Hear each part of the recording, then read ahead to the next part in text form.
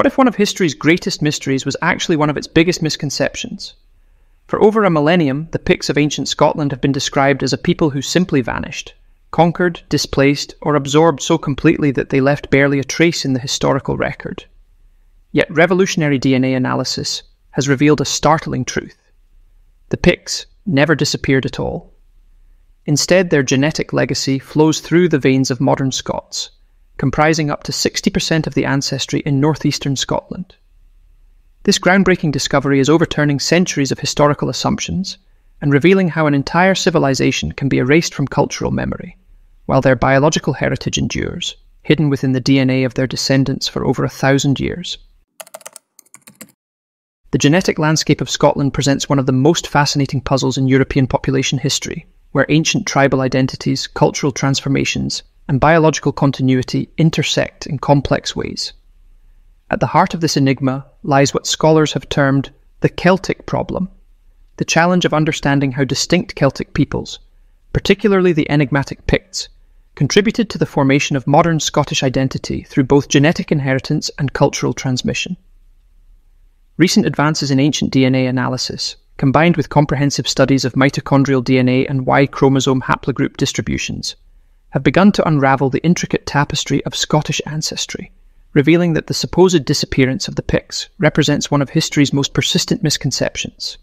The Pictish people, who dominated much of what is now Scotland from the late Iron Age through the early medieval period, have long captured the imagination of historians and geneticists alike. Ancient DNA studies extracted from Pictish burial sites across Orkney and eastern Scotland have revolutionised our understanding of these mysterious people and their role in Scottish genetic heritage. Genomic analysis of remains from key Pictish strongholds, including sites at Portmahomack, Rhynie, and various Orcadian locations, demonstrates remarkable genetic continuity between Pictish populations and modern Scots, particularly those residing in northeastern Scotland.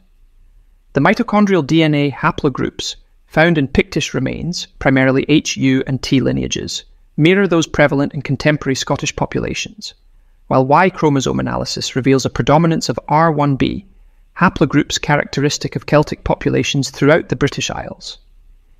When Kenneth MacAlpin established the Kingdom of Alba in the mid 9th century, uniting Pictish and Gaelic territories under a single crown, the political structure that had defined Pictish identity began to dissolve.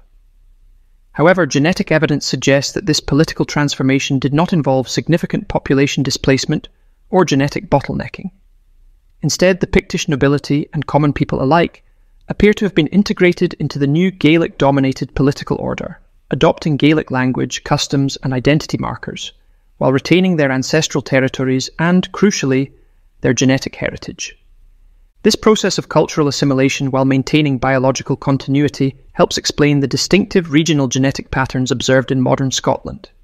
Northeastern Scottish populations, particularly those in areas corresponding to historical Pictish strongholds like Aberdeenshire, Angus, and the Moray Firth region display genetic signatures that differ subtly but measurably from populations in western Scotland and the Highlands. These differences, while not dramatic enough to suggest separate ancestral populations, indicate the persistence of local genetic characteristics that can be traced back through centuries of cultural change. The mtDNA analysis of contemporary northeastern Scots reveals elevated frequencies of certain haplogroup H subclades and distinctive distributions of haplogroup U lineages that correlate with patterns observed in ancient Pictish DNA, providing compelling evidence for genetic continuity across more than a millennium of cultural transformation. The relationship between Pictish genetics and broader Celtic identity illuminates the complex nature of ethnogenesis in early medieval Europe. Linguistic evidence strongly suggests that the Picts spoke a Celtic language, most likely belonging to the P Celtic or Brittonic branch that also gave rise to Welsh and Cornish. This linguistic affiliation places them firmly within the Celtic cultural sphere, a connection reinforced by genetic analysis showing close affinities between Pictish DNA and that of other Celtic populations throughout the British Isles and continental Europe. Y chromosome studies reveal that Pictish males predominantly carried R1b, L21, and related haplogroups characteristic of Celtic populations while their mitochondrial DNA profiles show the typical European Neolithic and Bronze Age lineages found throughout Celtic regions. These genetic markers indicate that the Picts were not foreign invaders or an isolated population, but rather part of the broader Celtic demographic expansion that characterized much of Iron Age and early medieval Europe. However, within this broader Celtic context, the Picts maintained distinctive cultural expressions that set them apart from their neighbours and contributed unique elements to Scottish heritage. Their remarkable stone carving tradition, exemplified by the enigmatic symbol stones found throughout northern and eastern Scotland, represents one of the most distinctive artistic achievements of early medieval Europe. These monuments, adorned with mysterious symbols whose meanings remain partially obscured, demonstrate both participation in wider Celtic artistic traditions and the development of uniquely Pictish iconographic systems.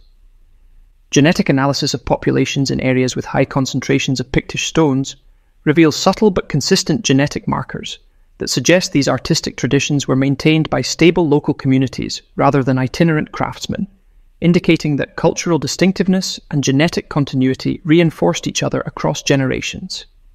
The integration of Pictish populations into broader Scottish society involved complex processes of admixture that varied significantly across different regions and time periods.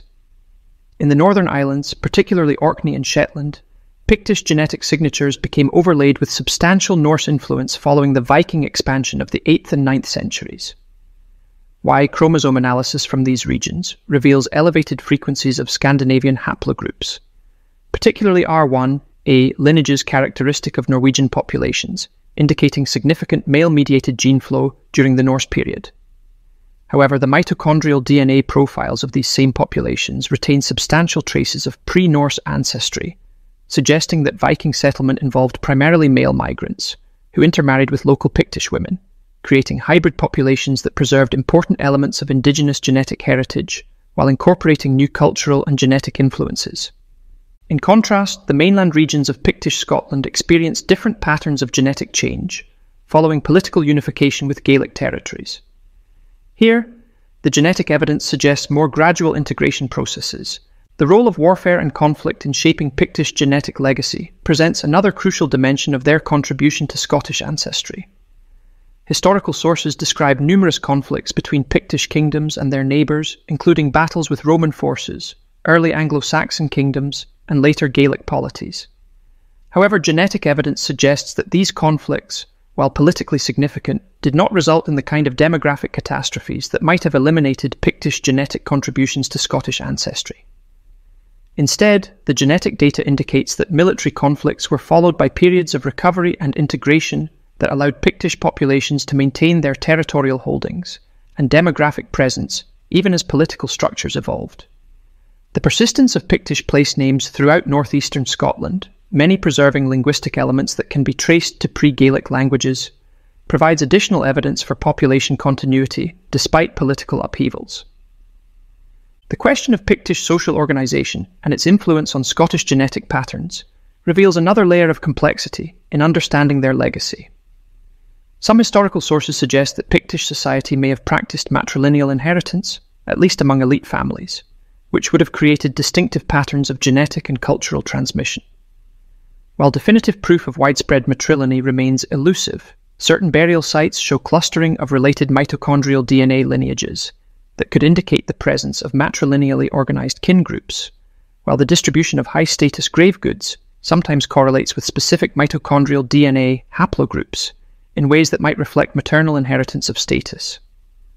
If such systems did exist among the Picts, they would have created unique mechanisms for preserving and transmitting both genetic and cultural heritage that differed from the patrilineal systems characteristic of most contemporary European societies. The broader implications of Pictish genetic legacy extend beyond Scotland to illuminate patterns of Celtic identity and continuity throughout the British Isles and beyond.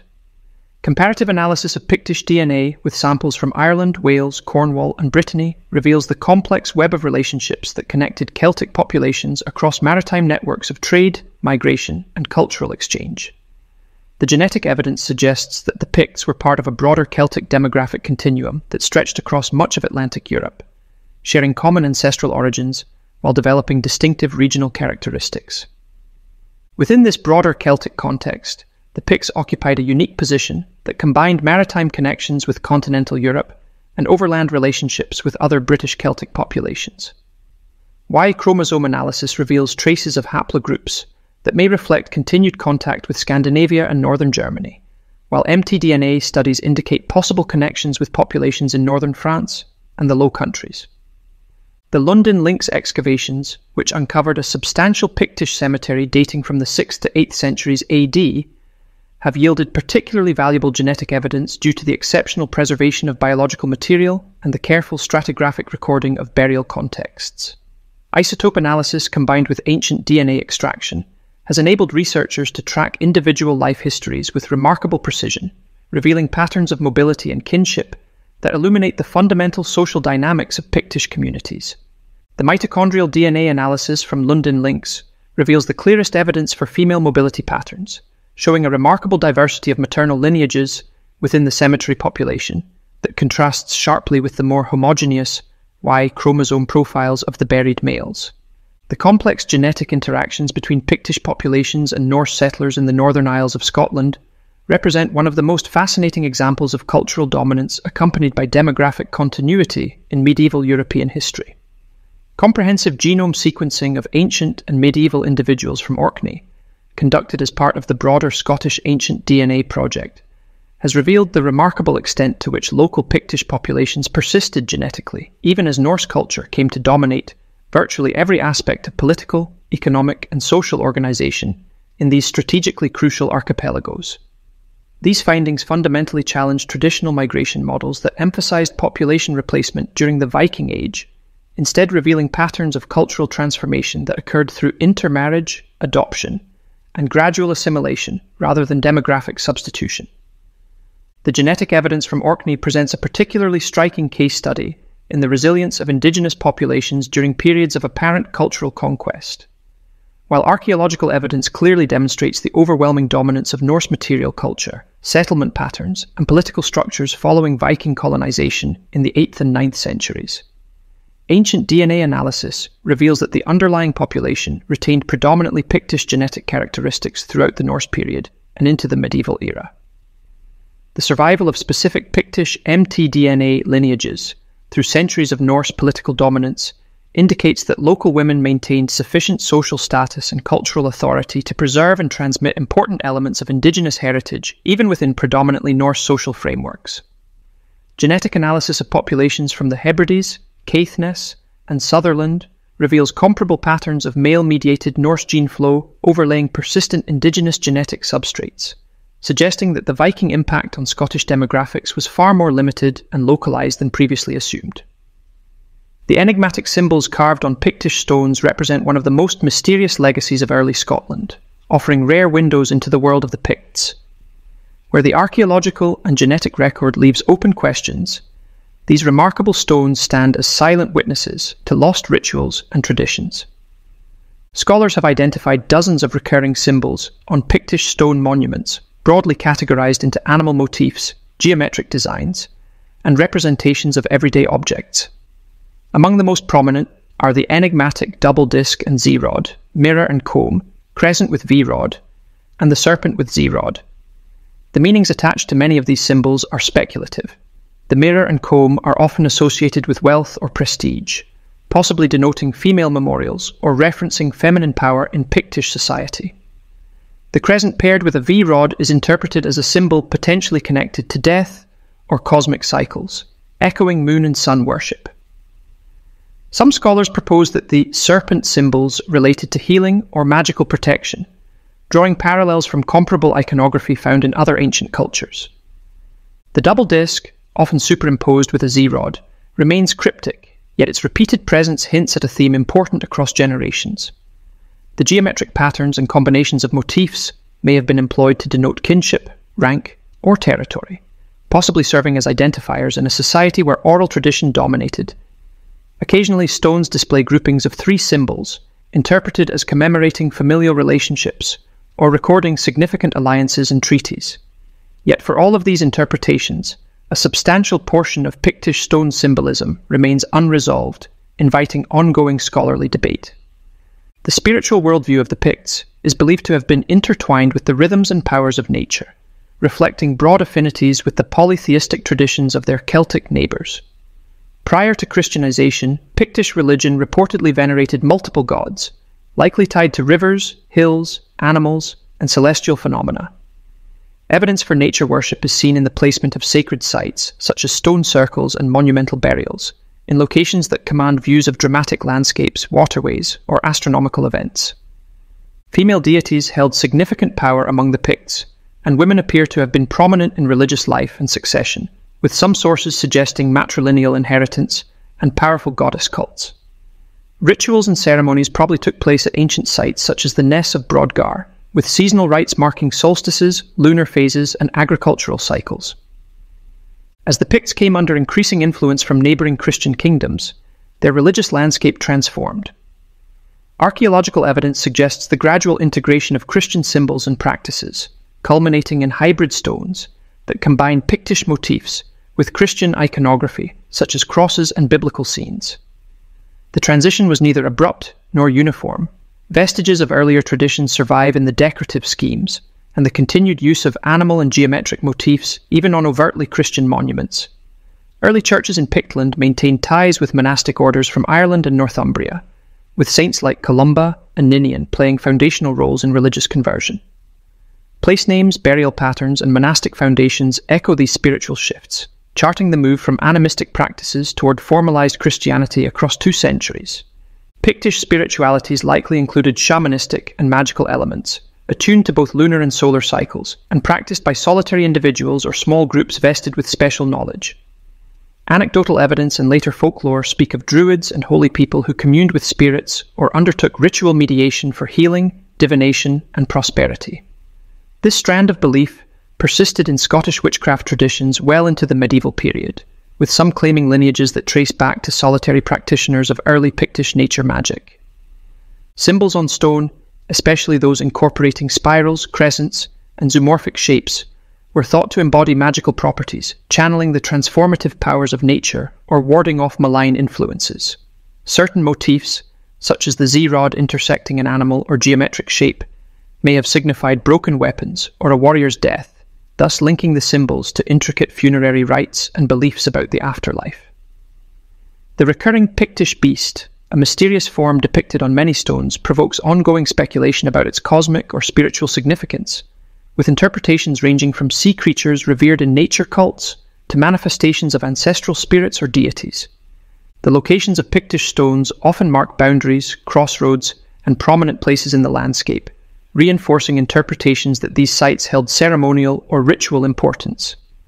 Some stones are found near ancient burial mounds, stone circles, or springs traditionally believed to possess healing attributes.